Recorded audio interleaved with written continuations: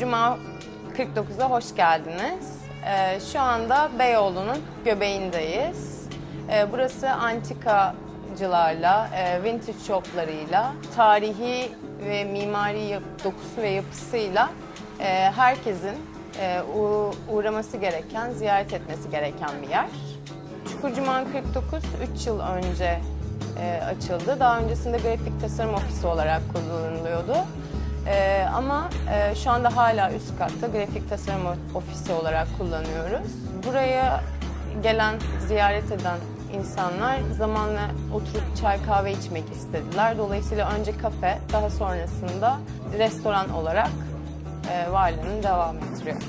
Eğer Çukurcuman 49'a sabah sabah gelirseniz e, kahvaltı menümüzden Bozcaada kahvaltısını tercih edebilirsiniz. Marmelatlarımız Bozcaada'dan geliyor.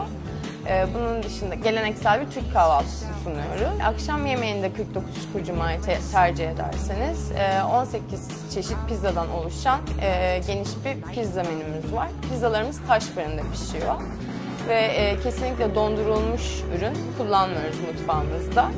E, pizzamıza içecek olarak yanında Bozcaada'dan getirdiğimiz şaraplar eşlik ediyor.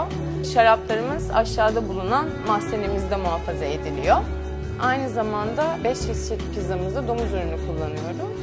Kafemiz gayet samimi, sıcak. Sabahları geldiğinizde kitabınızı açıp buraya oturup kahvenizi içebileceğiniz sıcak bir ortam sunuyor. Onun dışında kaliteli bir mutfağımız var, ürünlerimiz.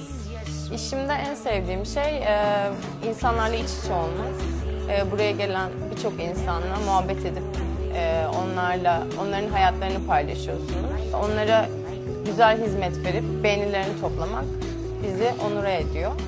Eğer yolunuz İstanbul'a düşerse e, Çukurcuma'ya pizzamızı yemeye bekleriz. E, pişman olmayacağınızı şimdiden garantisini verebilirim.